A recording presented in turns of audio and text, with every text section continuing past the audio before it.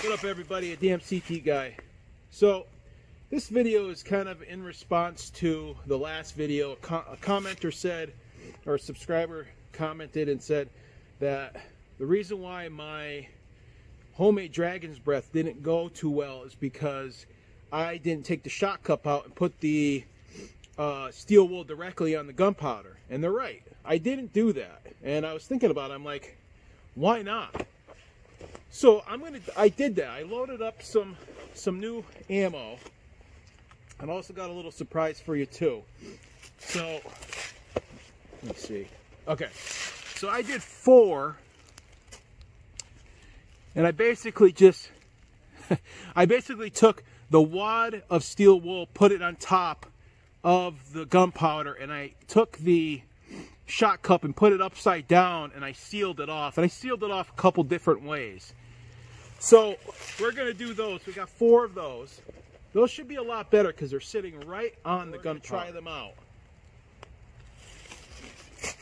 So today I got the uh, Remington 870 again. The good old Remington 870. Let's see if these cycle first. Okay, they're good. All right. So for this, again, we're going to do eyes. It's a little darker here, so bear with me on this, guys. Bear with me. All right? So here we go.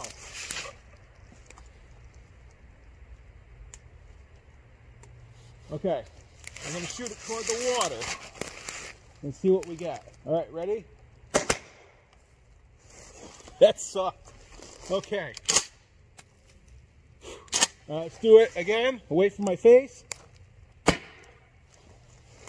Okay.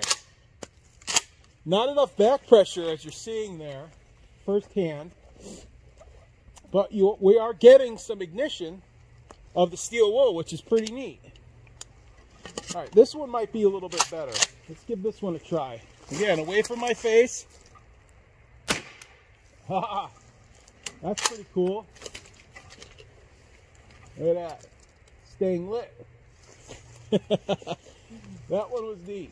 Okay. A little worried about starting a fire. All right, got last one. Last red homemade with steel wool. All right, that one's going to have to be loaded by itself because, yeah, it's not fitting. It might not even fit at all. See. Uh, no, I don't know. Having some trouble here. All right, there we go. I got it. Okay, there we go. Oh, safety off.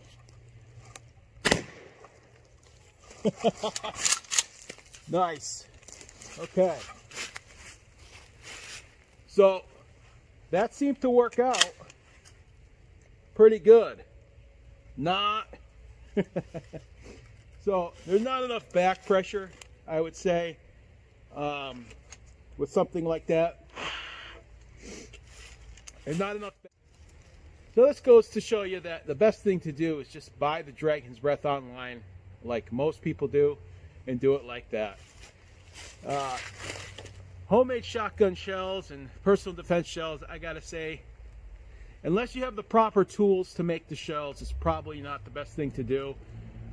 Uh, you could always make like those salt rounds uh, with some rock salt. That's pretty cool. But you know, anything you put into a shell and you shoot down your barrel could in fact destroy your barrel. So you got to keep that in mind.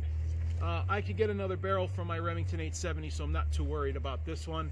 Uh, so that's why I like doing the experiments on it. But anyway, thank you guys for watching. This is a short, quick video in response to the last video. I got another cool video coming up, so stay tuned. I actually have a really cool video coming up, and I'm waiting for some stuff to come in, and it has to do with more shotgun shells that I'm going to load up. So we'll see. Stay tuned. This is going to be cool. And, uh, yeah. Thanks for watching. Like, subscribe. Damn CT Guy signing off.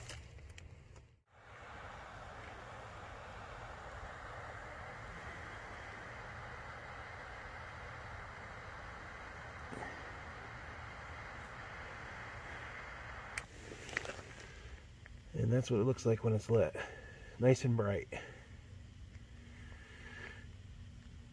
Pretty neat, huh? And that is magnesium flake. And that's the essence of uh, dragon's breath. See what happens when you kick it. Pretty neat, huh? But that's what goes into the dragon's breath shotgun shells.